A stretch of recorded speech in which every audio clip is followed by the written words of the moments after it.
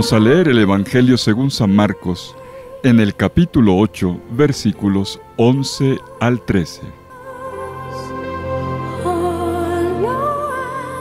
En aquel tiempo se presentaron los fariseos y se pusieron a discutir con Jesús para ponerlo a prueba. Le pidieron un signo del cielo. Jesús dio un profundo suspiro y dijo, ¿Por qué esta generación reclama un signo? En verdad les digo que no se le dará un signo a esta generación.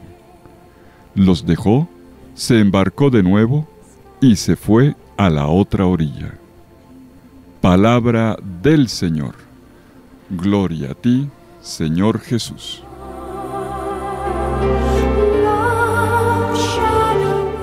Después de la segunda multiplicación de los panes, el narrador de Marcos nos refiere que Jesús hizo un viaje por el mar de Galilea. En medio tenemos el pequeño pasaje que acabamos de leer, en el que los fariseos se presentan donde Jesús, le piden un signo del cielo, pero Jesús se los niega rotundamente. Quizás sea una de las reacciones más fuertes de Jesús en el Evangelio de Marcos. Da un suspiro y deja plantados a sus interlocutores y se va dejando claro su fastidio. La ruptura entre ellos y Jesús se deja ver con toda su fuerza. Por su parte, los discípulos, no mencionados explícitamente, son testigos de este momento. Ellos quienes han acompañado a Jesús de cerca y han visto precisamente tantos milagros, tantos signos de Dios en la obra de Jesús con el pueblo, están llamados a entender con exactitud qué tipo de milagros no se deben pedir, y también la razón del desentendimiento de Jesús con los fariseos. Veamos algunos detalles interesantes y el mensaje de este corto pero contundente relato.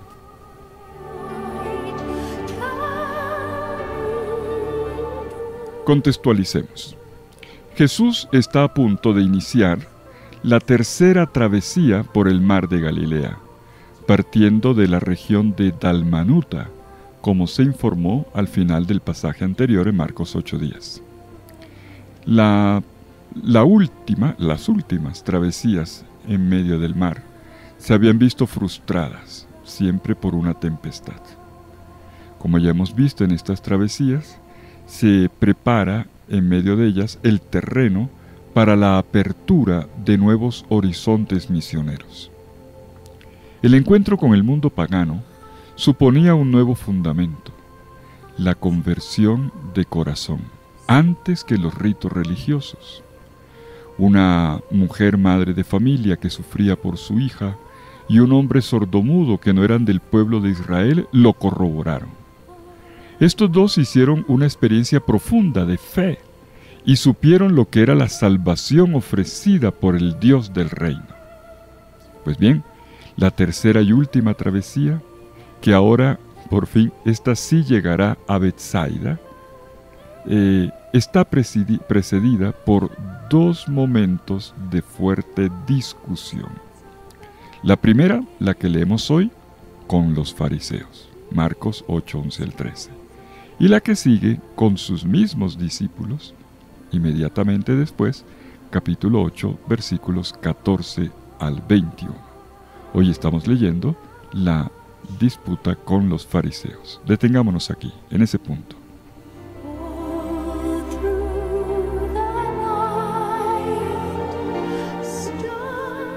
La iniciativa parte de los fariseos dice el versículo 11, aparecieron los fariseos y comenzaron a discutir con él. Esto corresponde a la manera típica de comportarse de los fariseos. Jesús no va a buscarlos. Son ellos quienes abordan a Jesús y generalmente con mala intención. Vienen a armar polémica.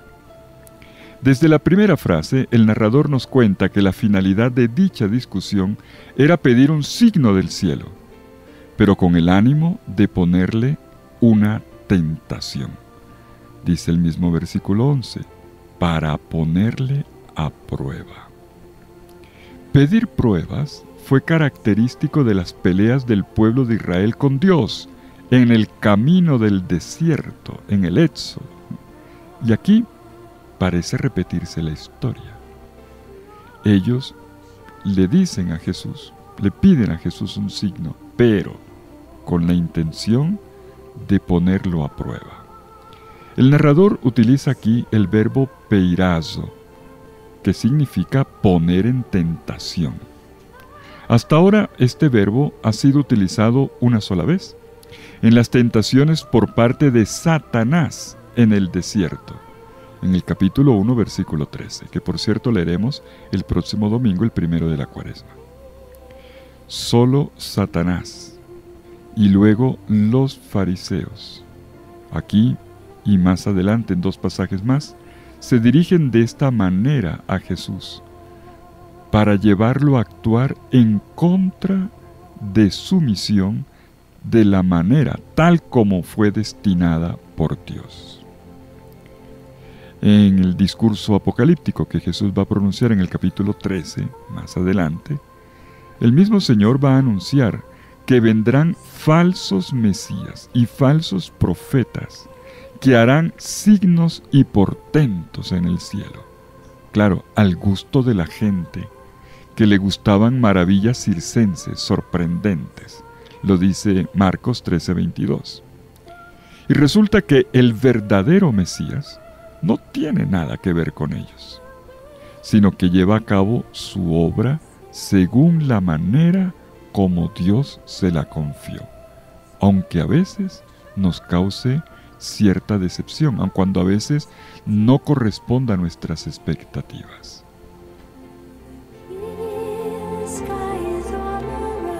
Pero retomemos el punto problemático. La prueba en este caso consiste en pedir un signo del cielo. ¿Por qué a Jesús le desagradó esto? ¿Qué estaba por detrás de esta solicitud de los fariseos? Lo que le piden es que Dios mismo sea el garante y el testigo de la revolución que está obrando con respecto a la tradición de los antepasados y a las normas de pureza, un asunto que los tiene chocados. Los fariseos están bien conscientes de cuánto el comportamiento y las enseñanzas de Jesús han puesto en tela de juicio su identidad religiosa. Jesús ha abierto las puertas a todo ser humano. Pero ellos no lo captan y si lo captan no lo aceptan. Por lo tanto, el problema de los fariseos con Jesús es este. ¿Qué nos garantiza que todo esto que tú nos dices, que tú propones y que tú haces, proviene de Dios? Lo que le están pidiendo a Jesús entonces son las credenciales una evidencia clara y contundente de la presencia y la voluntad de Dios en él. Solo así podrán tener la certeza de que su predicación del reino puede ser tomada en serio. Como dijimos, esta petición de signos tiene trasfondo. Nos remite a dos pasajes del Antiguo Testamento, ambos en el contexto del caminar del pueblo en el desierto. Se los recuerdo brevemente. Antes de la salida, Moisés, de la salida del paso del Mar Rojo, de la salida de Egipto, Moisés le pidió al faraón que dejara salir al pueblo. Pero el faraón endureció su corazón y Dios le dio signos. Estos signos son las plagas, que están narradas en Éxodo capítulo 5 al 11. En Deuteronomio, en el capítulo 6, versículo 22, este momento de la historia de Israel es evocada. Está resumida con esta frase. Yahvé realizó en Egipto, ante nuestros propios ojos, señales y prodigios grandes y terribles contra el faraón y toda su gente. Pero tenemos otro pasaje. Ya después de la salida de Egipto, durante el caminar por el desierto, el pueblo se rebeló y puso a prueba a Dios en Masá y Meribá, pidiendo agua y pan. Lo narra el capítulo, los, los capítulos 16 y 17 del libro del Éxodo. Y Dios respondió, se los concedió, pero ellos siguieron pidiendo más y más. Por eso, en el libro del Deuteronomio 1.35 y 32.5, esta generación será calificada de pervertida y tortuosa. Estos dos pasajes que acabo de evocar muestran que el problema consiste en que cada vez que se pretende un signo, la solicitud incluye implícitamente una forma de resistencia que es preludio de un rechazo, como fue el caso del faraón. Se le dieron signos, los pidió, pero daba igual que el Señor le hiciera signos. Él tenía el corazón duro. No quería dejar salir al pueblo. O incluso el mismo pueblo también pueblo de dura cerviz en el desierto, que considera insuficientes las señales de Dios. Ocurre con frecuencia que uno anda en búsqueda de signos que convenzan de que vale la pena estar con Dios. Y ese no es el camino. El riesgo es que esta es una forma de circunscribir a Dios en nuestro propio imaginario, acomodarlo en nuestros criterios. El riesgo es un Dios a la medida de nuestras necesidades. El riesgo es un corazón cerrado. ¿De qué sirve mostrarle un bello cuadro a una persona que no quiere abrir los ojos? Y no es que Jesús no haya dado signos, pero eso sí, hay una gran diferencia entre buscar signos y reconocer los signos que ya nos han sido dados. Jesús no deja de responder que todo lo que ocurre ya es signo de Él. El signo del cielo es el mismo, el Hijo de Dios en la tierra. Pero la gente de su tiempo lo recibía con reserva, con crítica, con rechazo. En el Evangelio de Marcos no se habla del signo de Jonás, que según Mateo es la muerte y resurrección de Jesús. Porque el signo, según Marcos, es la misión entera de Jesús, que hay que discernir, desentrañar, leer. Se hace un acto de fe en Dios cuando se acoge la persona de Jesús con todo lo que Él es y a partir de todo lo que Él hace, como el Mesías e Hijo de Dios. Dios no satisface caprichos. No hay otros signos que los que la vida nos pone cotidianamente en el camino, que ya son grandes, y el gran signo que es la persona de Jesús. Pretender de Dios signos y milagros para continuar dándole crédito es el indicio de una fe inexistente.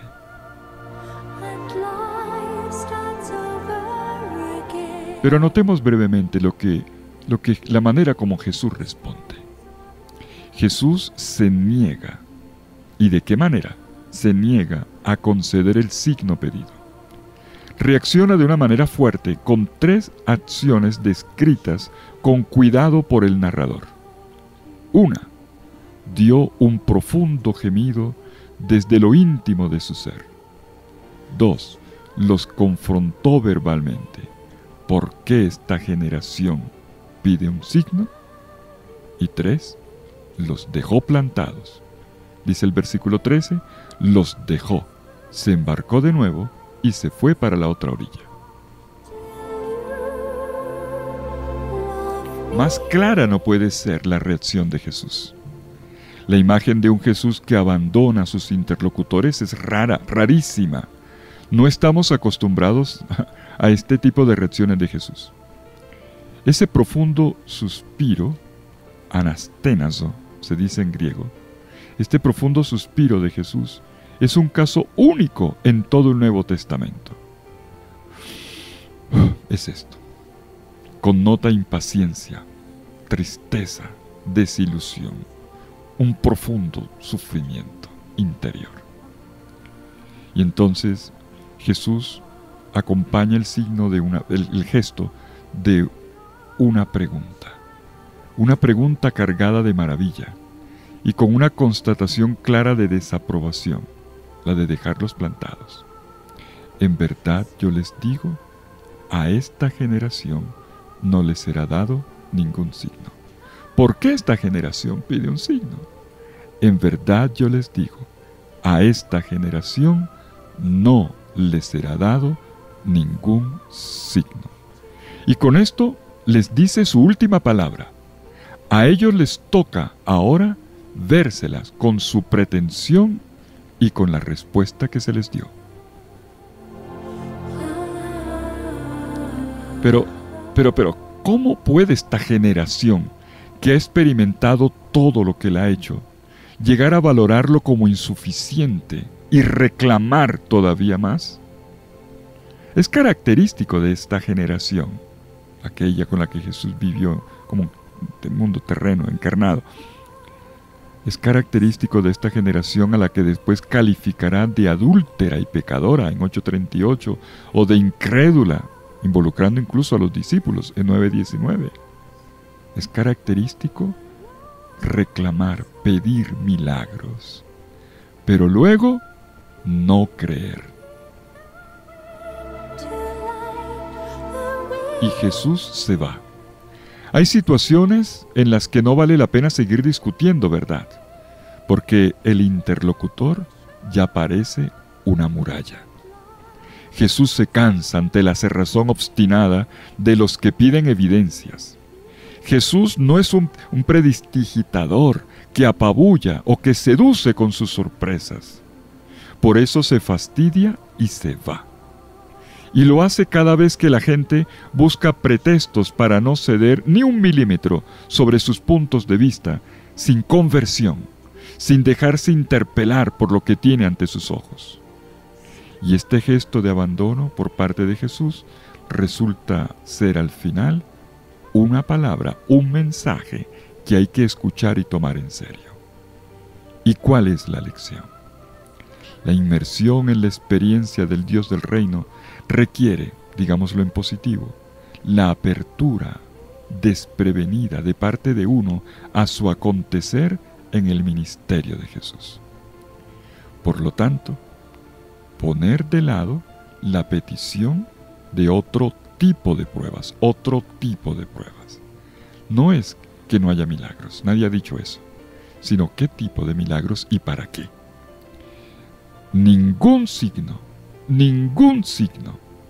Jesús está cansado de dar signos, de tener que pasar exámenes, de estar siempre en el banco de los acusados, delante de gente que tiene el corazón duro, que lo que quiere es que le arreglen cositas de la vida para su bienestar, pero que no tiene interés en la conversión. Jesús aparece exasperado por la falta de confianza y la terquedad, como si Dios tuviera que dar demostraciones todo el tiempo. Signos, pedimos signos, y no parecen suficientes tantos signos que ya hemos recibido. No nos basta la palabra que nutre nuestros corazones, ni los sacramentos que hacen real y accesible la presencia de Cristo.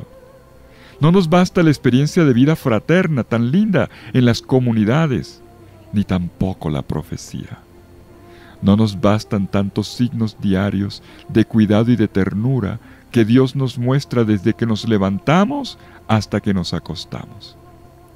Tenemos necesidad de signos que nos apabullen, de milagros y de apariciones, y corremos detrás de videntes. Y Dios calla. Ningún signo. Si no reconocemos la presencia del Señor junto a nosotros, una presencia tan sencilla y tan real, ¿cómo podríamos creer en cualquier otro signo? Para quien no quiere creer, ningún milagro será suficiente nada lo convencerá. Hay que levantar la mirada para reconocer que Dios está ahí, aquí entre nosotros.